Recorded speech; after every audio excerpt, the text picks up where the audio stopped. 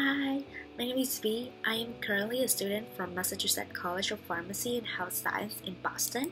Uh, to be honest, I am a huge fan of animals. I believe um, animals have emotions.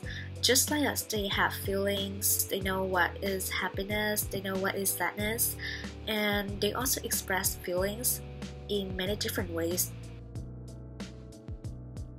have two dogs at home. There was one time when my dog uh, lost her children because they were too weak and I could see tears in her eyes and this is the first time ever that I saw this and I didn't I didn't even believe that animals have emotion before but everything was changed.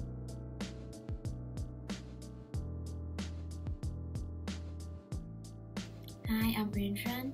Um, I'm a sophomore student majoring in business administration and minoring in biochemistry at American University, in Washington, D.C. by Cesar Millan on the National Geographic uh, channel. He like he shows us that um, dogs' behaviors are expected by their own attitudes, um, internal emotions, physical postures, just like us.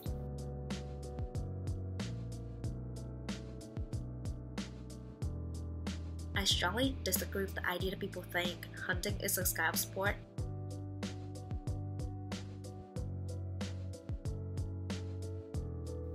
Mm, some people consider hunting a, is a sport. Absolutely no.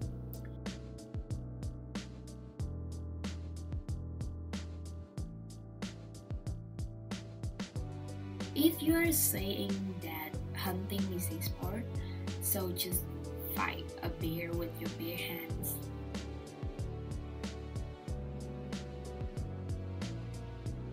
We're living in the same planet with animals, so we can say that um, we share one world with them.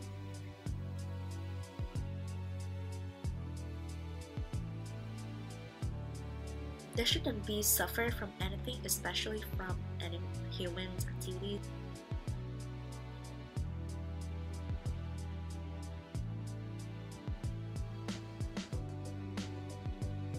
I have one favorite quote um, from the PETA founder, um, Ingrid Newkirk.